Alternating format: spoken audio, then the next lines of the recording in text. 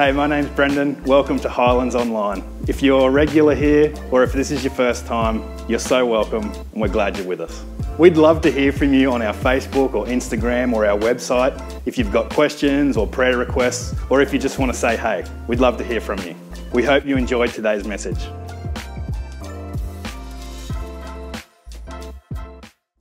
I found in life that life happens.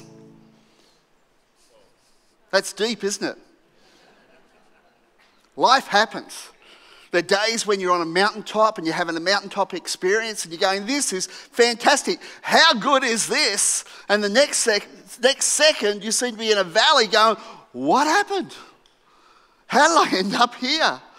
And I think that's what life happens like that. Can you remember days like that? You remember days where you've been on that mountaintop and everything's great, and all of a sudden the telephone call comes in and you're in the valley. Or you're feeling great and you go to the doctor and they say, oh, no, no, it's not great. And I think life happens, and it's how we deal with life is so, so important. Life happened to Jesus. I, I, I think in Luke chapter 3, it says, When all the people were baptized, it came to pass that Jesus was also baptized. While he prayed, the heaven was opened, the Holy Spirit descended bodily in the form of a dove upon him. A voice came from heaven and said, You are my beloved Son I'm well pleased. What a mountaintop experience. The heavens opened. The, the, the God Himself saying, Hey, what? You're my beloved Son. And then the next breath, in Luke chapter 4, it says, Then Jesus, being filled with the Holy Spirit, rather than rather in Luke chapter 3, when the, all the people were baptized. No, I missed a verse. There you go. Luke chapter 4. Then Jesus, being filled with the Spirit, returned from the Jordan, was led by the Spirit into the wilderness, being tempted for 40 days by the devil. And in those days he ate nothing, and afterwards, when it ended, he was hungry. Mountaintop experience to hungry. And I think, wow, you know, isn't that life? Isn't that life? That we, we go through experiences where we, we're encountering God, we're having a great life, we're doing amazing things, and all of a sudden the world changes on us. And Jesus experienced that. Let me just say this suffering sucks. That's quotable. Suffering sucks. But make use of suffering, don't just suffer. Make use of the suffering. I was talking to Doug Wood just before as we were getting a coffee, and he was telling me a story. He said, you know, because we are having a bit of joke, and he said, you know, I said, how are you? He said, you know, we're good. And he said, it's not much use being bad, no much use complaining, no one listens. And he said, you know, there was a lady in my brother's work, and she was called Misery. Because everything she saw wasn't good enough. It was just misery. She was nicknamed Misery. Look, suffering sucks, but make use of the suffering. Luke chapter 4, verses 4 to 14 to 15, it says this And Jesus made use for the suffering. He returned in the power of the Spirit, and news went out through all the surrounding region. He taught in their synagogues, being glorified from, by all. He made use of the suffering. He didn't just go out into the wilderness and was hungry, he actually overcame the temptation and the challenges of the devil himself and came back in the power of the Spirit. If something happens when we face suffering face on and make use of it because we have a power over the thing that caused us to have suffering. There's a saying, never waste a good crisis. And I was thinking about that, and I was thinking about the Great Depression. Moira and I are listening to a book at the moment and I had this section on the Great Depression, and I thought, wow, what an amazing time. Yet it was such an horrendous time. My mum grew up in the Great Depression. She got caught stealing oranges, and they were all stuck in her bloomers, and she couldn't run and got caught. Go figure. She was convict. No. Um, but in the Great Depression, when all the trouble was on, some of the greatest inventions were made. Because innovation has to happen, had to happen out of incredible. Luke 4, uh, rather, it said this the, great, the things that changed in the Great Depression. Otto Rohwedder's invention a bread slicing and wrapping machine made its premiere at, in a Missouri bakery. You know, incredible, you know, when you think about that. Here's an invention that went around the world. You know, it's the best thing since sliced bread, really.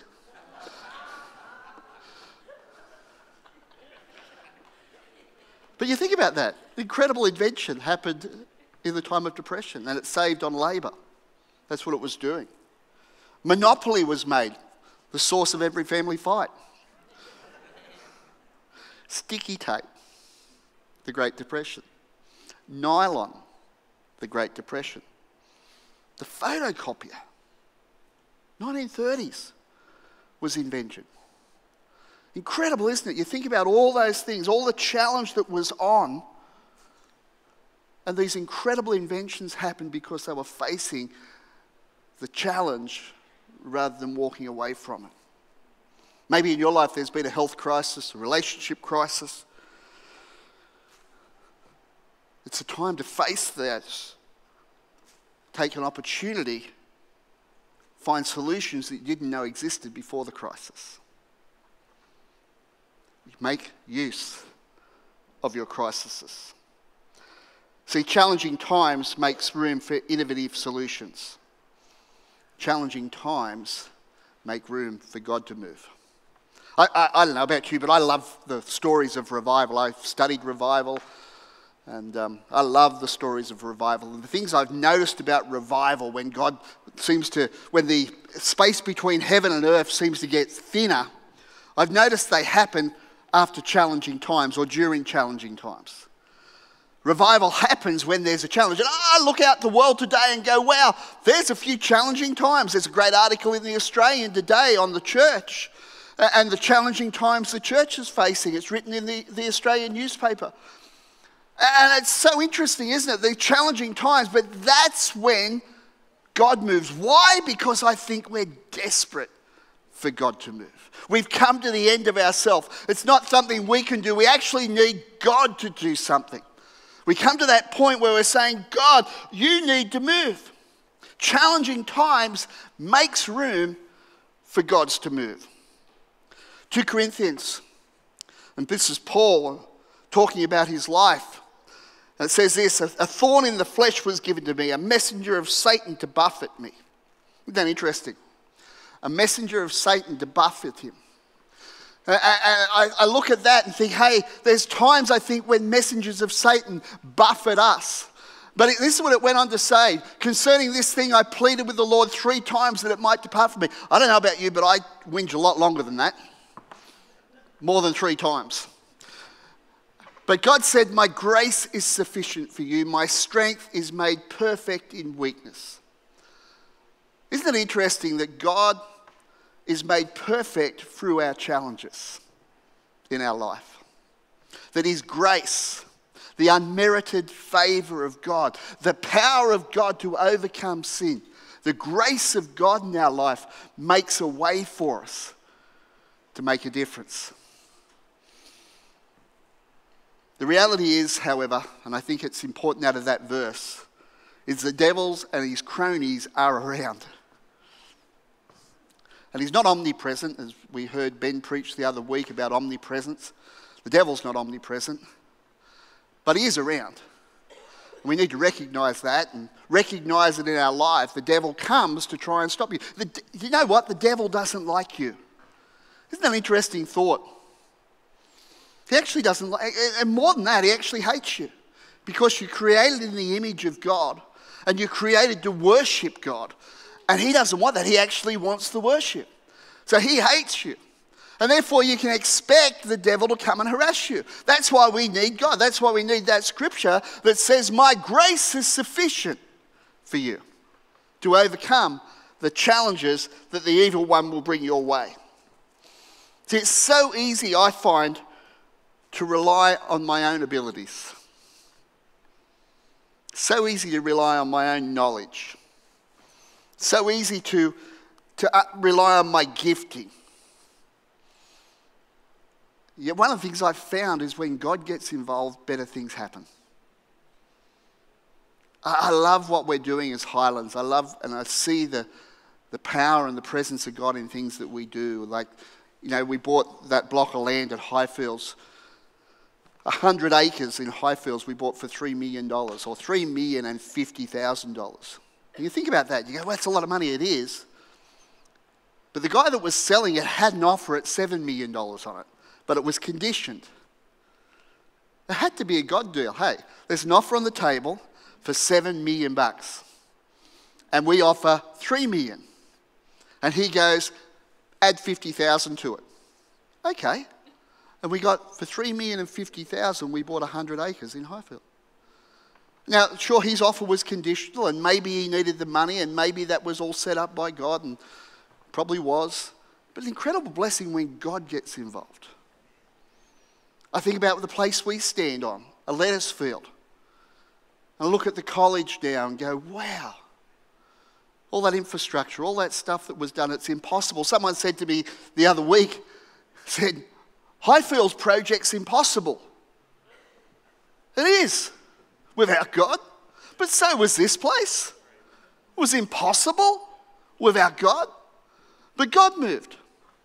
And I look at some of the things in our life and some of the things in your lives where you go through and you see the move of God. Yes, it's impossible. That's why there's praise reports on the back wall. There's impossible prayer requests and impossible answers to prayer through praise reports. Because God wants to be involved in our lives. And I think when we come to the end of ourselves is when God can move. One of the things I've found is the more I grow in God, the more I get to know God, the more I realize I need God. I think about when you're a new Christian and you encounter God and you go, wow, this is awesome. Or before you're a Christian, you, I don't need God, I've got everything sorted out. And then you encounter God, and you, then you realize God coming into your life. And, and the more you grow in Him, the more you realize, man, I need God. It's a bit like what Mark Twain said about his parents. He said this When I was a boy of 14, my father was ignorant, was so ignorant I could hardly stand to have the old man around. But when I got to 21, I was astonished at how much the old man had learned in seven years. it's a bit like that as we get to know God wow, there's so much, it's so deep. Because we get to know and understand Him. And the more we get closer to Him, the more we involve in our life, the more the world opens to us, the God given world opens to us. See, it's easy in life to get stuck. So easy to get stuck in a relationship struggle when sickness happens, when bad things happen to good people. And it's easy to get stuck. It's easy to get to that point where you can become disappointed. And your disappointment can anchor you where you don't want to be. King David writes in Psalm 42 5, he says, Why am I discouraged? Why is my heart so sad? He is getting that point where he's realizing that he's stuck. He's going after a whole pile of things that went on and a few decisions he made that were bad. Well, one particular, two particular ones. If you read his story, he did make a couple of bad decisions, David. And he's saying, Why am I so discouraged? Why am I stuck here? It's so easy to let get stuck. It's so easy to see the challenges and get stuck. In one breath, King David's saying, Why am I discouraged? In the next breath, he gives a solution. In Psalm 42, uh, verse 5b, he says, I'll put my hope in God and I will praise him. He gives a solution to his discouragement. He gives a solution to his disappointment. And he says, The solution is, I'm going to praise you, God. I'm going to encounter you. i'm and no matter what you're going through, no matter what challenge you're facing, one of the things that I've found in my life is there's power in praise. But I've found it's really easy to praise Him on the mountaintop. It's really easy when things are going great. Oh, God, you're so good. But I find it a little bit more challenging when you're on an operating table or you've been given bad news to praise Him. But actually, the answer is in praise. Choose worship over worry. Choose worship over worry. It really does make a difference if you start to worship yourself. I think Hebrews puts it so nicely. Hebrews says it this way. He says, Therefore, by him, let us continually offer a sacrifice of praise to God.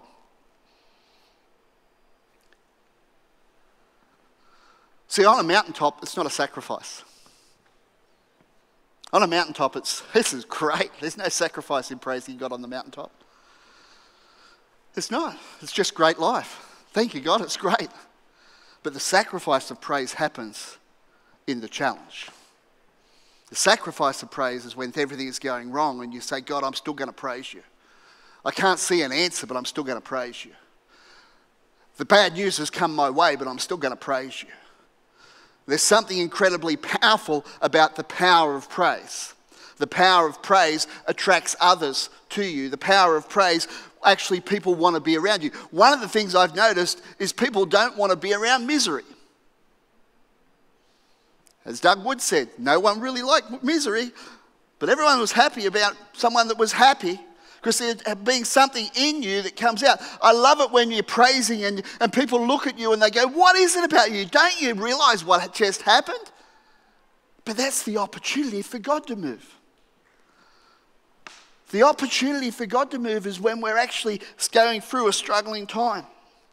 The Bible says really clearly in Psalm 23, uh, 22, verse 3 praise is a vehicle that God inhabits.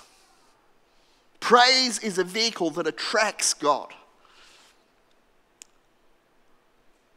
And I think when you're in the challenge and you're facing the challenges of life, we're desperate for God. I don't know about you, I am. I'm desperate for that encounter with God. And praise is actually what attracts him. Look at Paulus, Paul and Silas in the jail. Paul and Silas are in this jail. They've been locked up. They've just been whipped. They were just basically uh, abused by a whole city because they identified some foreign god and was what they were worshipping and making all the money out. So they, the authorities grabbed them and whipped them and then threw them in jail. And they started to praise. They started to sing and they started to praise. And then it says this, but at midnight, Paul and Silas were praying and singing hymns to God. The prisoners were listening to them. Notice that the world will look, when you're in trouble, the world will look at you and go, What is it about you? The prisoners, they were listening to him. They were going, What is it about these two? They've just been whipped. And suddenly there was a great earthquake, so the foundation of the prisons was shaken, and immediately all the doors were opened and everyone's chains were loosed. It wasn't only Paul and Silas's chains that was loose, freedom came to the rest of them. Freedom came through praise. Freedom comes to people around you when they see you encountering God, when they experience the power of God in your life. It sometimes set other people free.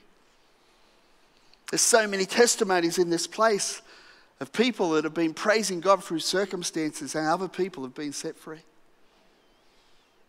So incredibly powerful if you can catch it. You know, I think about wouldn't it have just been easier for God not to let Paul and Silas be whipped and go to jail? God could do that, couldn't He? The reality is, God could have stopped Paul and Silas from going to jail.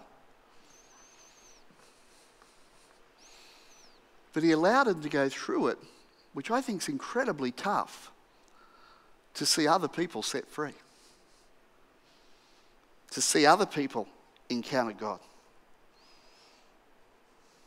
See, God's timing is God's timing. And I think we can be so disappointed sometimes where God doesn't turn up when we expect Him to turn up. I'm sure Paul and Silas would have much preferred God to turn up before jail, would have much preferred to turn up before the whipping. But God's timing is God's timing. But the thing that I love about that story is they were praising Him, and people were set free. John chapter 11, verse 39. And this is a story about Martha and Lazarus. So, if you don't know the story, Lazarus had died. And um, Martha, the sister of him who was dead, said to him, Lord, by this time there's a stench. And he'd been dead for four days. So, Martha and Mary, Lazarus had died. Jesus delayed his coming And at the time, Martha's saying, He stinks. If you'd have been here, it said before, Mary said, if you were here, this wouldn't have happened.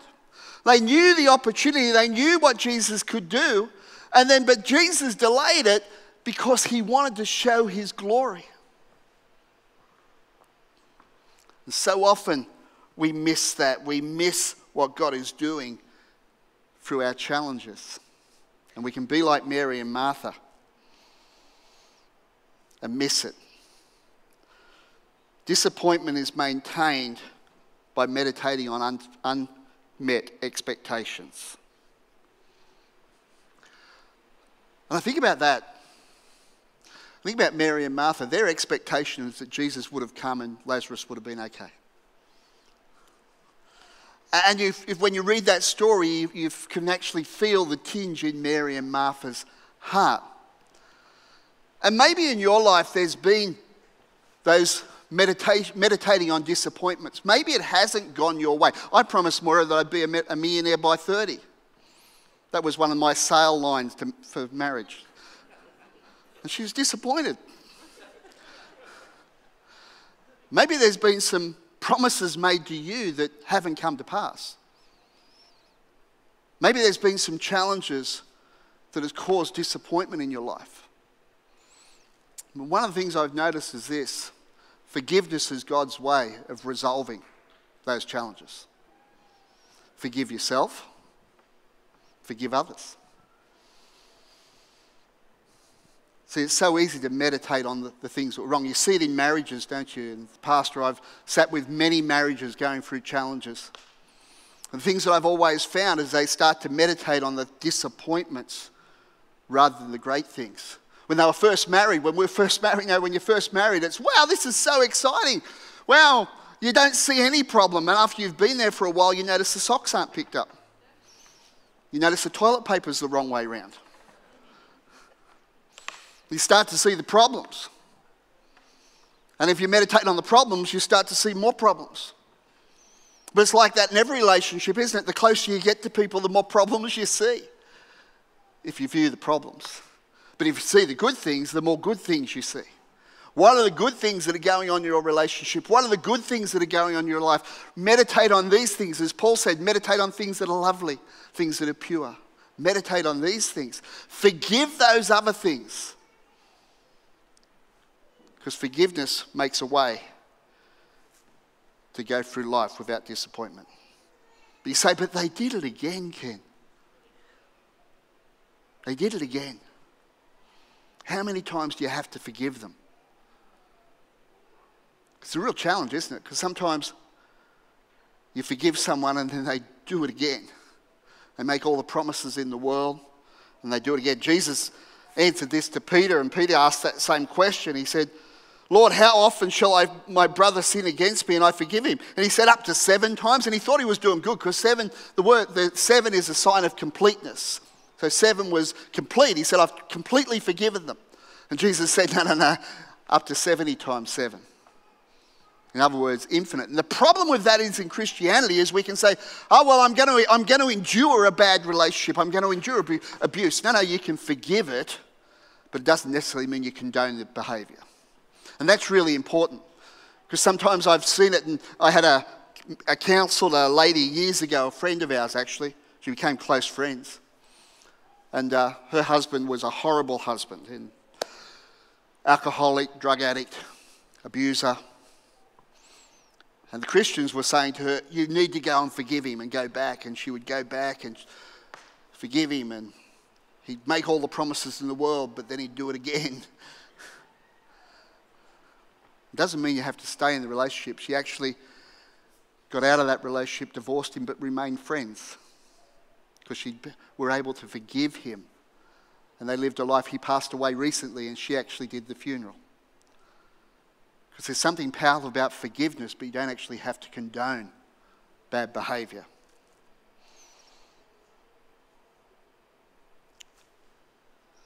I think about the scripture you overcome by the blood of the Lamb and the word of your testimony. The blood of the Lamb's done. Jesus died on the cross.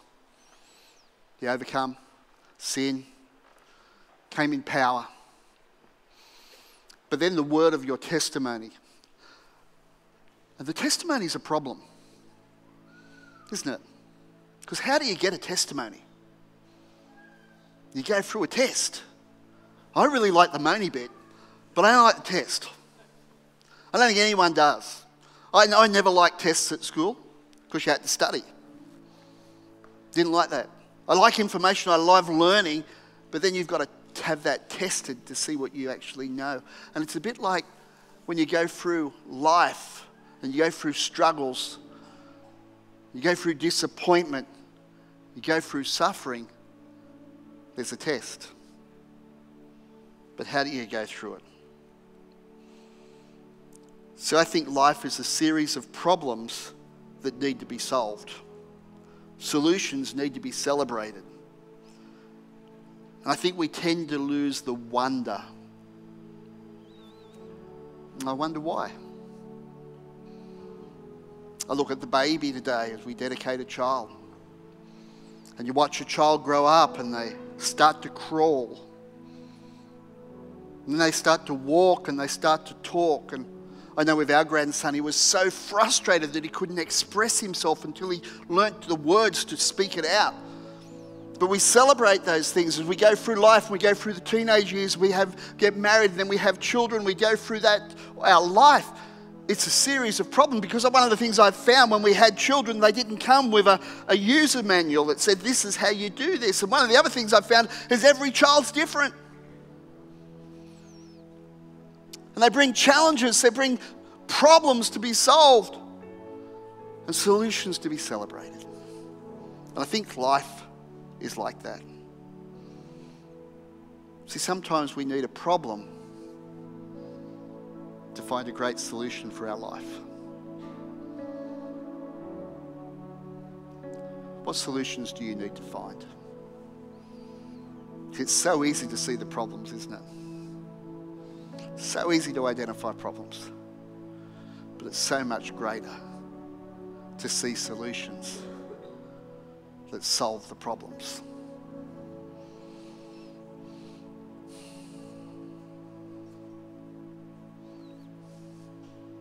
When I think about the challenges of life and the problems we face, that we can get stuck saying, God, why? Why did this happen? Why did this happen to me? Why am I on the shelf? Why am I here? Why am I there? Why has gone on? Can I encourage you to not ask why, but ask God, what's next? What's next, God? Because if we stay stuck on the why, sometimes we never get a solution. We never get an answer. But if we change our question from why to what's next, we can step into the good things and the great things of God. So, my question to you this morning as I finish no matter where you are and no matter what you're doing, what is your next step? What is next for you? No matter what age you are, there's a next. No matter what stage of your Christian journey you are, there's a next. What's your next step? Don't get stuck in the problems. Don't get stuck in the suffering. Don't get stuck in the disappointment. Forgive and start to look for your next to take you on the journey. Let me pray for you today. Father, I thank you as we come into this place that we can praise you.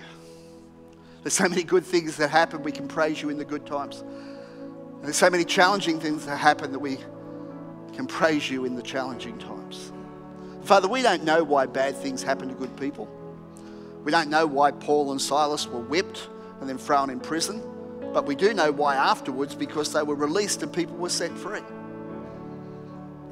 Help us to see that, Father, as we go through the challenges of life, because life happens. Help us be those people where people look at us and go, What is it about you? And our only answer can be, Jesus changed my life. Hey, just while every eye's closed and every head's bowed, we do this in every service, and if you've been in Highlands for a while, you'll know this, but We really are excited for you being in this room. And maybe today, maybe today you've never given your life to Christ. You've come to church. Maybe you've been in church all your life, but you've never actually said yes to Jesus.